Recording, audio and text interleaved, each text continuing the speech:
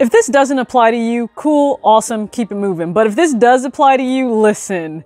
We just have to be honest for a second. If you already have a list of five different retros you plan to get in 2023, but you claim you don't have money to invest in your future, you're lying. You're absolutely positively lying. And that's not to be mean to you. It's not that I think you're an untrustworthy person, but I absolutely think that's cap. And we can't start the year with this big of a cap. Like, we just can't. Because saying that you don't have money for something when you're clearly buying something that you don't need any more of, I mean, how many of us have, you know, an excess amount of shoes? Raise your hand and all of you should be raising your hand because you likely have more than what you need. Therefore, you choosing to buy another pair of shoes or having five pairs in your mind that you want to pick up in 2023, not that it's bad to have wants, but also understand that it's a choice then for you not to invest in your future. And I know like we're not taught this in school. How many of you remember a class unless you were a finance major like myself where they actually went through understanding how important it was to take advantage of compound interest and time being your best friend in the market and how far a simple $200 a month could go for your financial future. You remember that class? I don't because we didn't have that class in high school. I had that class because I actually majored in finance. That's the only reason that I actually uh, took that course and that was provided to me in an educational setting. But otherwise, we don't discuss this, we don't talk about it, and that's unfortunate. That's honestly why my budgeting ebook is free. I've never taken a dime for it and I never will because I really do think it's how to manage your money, just the basics, is something that we should have learned in school. So my book doesn't dive into investing, but it absolutely touches on a budget, how to help yourself slowly get out of debt, and then from there set up a, a actual line items where you can spend now for what you need, but also plan ahead for the future. So if you're ever curious, ever interested in that, my email is in the description box of every single video. But don't say that, hey, I want to buy five pairs of retros, because let's just look at the cost of that. That's easily a thousand dollars for the year because the average cost of retros has gone up. If you haven't noticed, I'm sure you have. About two hundred dollars. Yeah, let's just go ahead. Let's just make it friendly.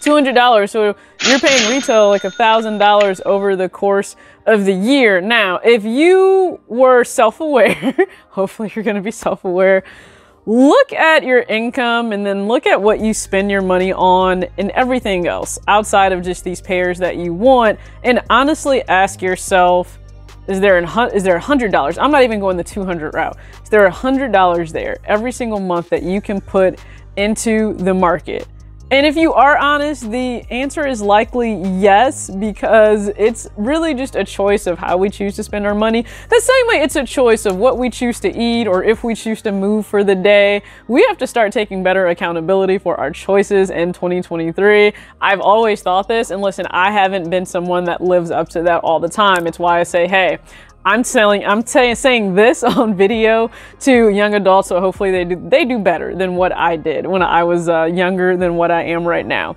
But if you are budgeting and you're making that effort to put money aside for that pair that's coming out, that's dropping, and I don't care the brand, Nike, Jordan, Adidas, Puma, New Balance, doesn't matter. You're making the effort to put that money aside to chase pairs. Can you please also put money aside for future you? Future you is 1000% relying on you right now to be able to have something available when you're older. Like, I, if you have kids, then great. I'm sure they're more than willing to help out in the future once they've established their own careers and lives. But I also don't think it's fair for you to just 100% rely on them. So, 200 uh, if you would like to go ahead and you know take that challenge of $200 now are you sacrificing something yeah no doubt you're sacrificing something. You're sacrificing another pair that you could get.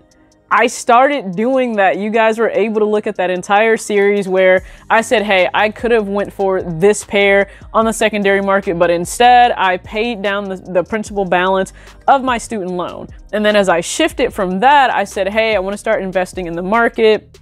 Nike and Adidas. And I'm absolutely positively investing in the market. You guys will see that here on the channel to really hopefully encourage you.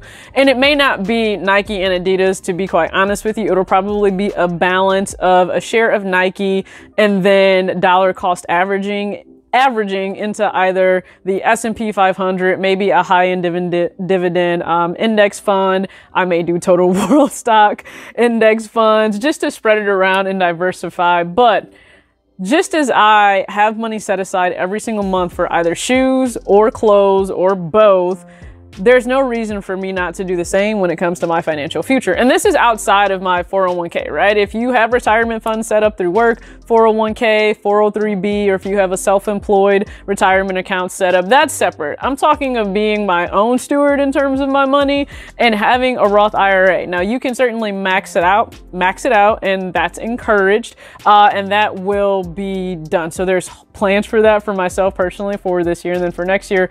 But more importantly, please just make the effort and the choice to be as intentional with your personal finances as you are in chasing these pairs. How many raffles do you enter? How many times do you tune into Sneakers Live heating up, hoping that you will uh, get a shock drop opportunity? We do so much just to be able to have these pairs. And it's not that I don't love pairs, guys. You guys have seen me unbox these sneakers. You've seen the excitement that I have, but I also want anyone that's watching the channel to be just as attentive to their finances as they are to whatever is on their feet. So if you already have five retros in your mind, I really do hope that you have uh, an intention to invest in, you know, the market for the long game, not the short game. This is not flipping and reselling sneakers for the long-term gain. Right now, the biggest bargain you can get is in the market, quite honestly. Like, look at the discount for Nike stock. Look where it was in January of 2022 and where it is now. And I guess I have to say this is not financial advice, but you can look and see what happens in the market over time versus those shoes. You eventually have to give them away or they crumble and disintegrate because that's what happens. So I appreciate you guys for tuning in to this video on Talks with TJ. As always, act your age, not your shoe size. Peace.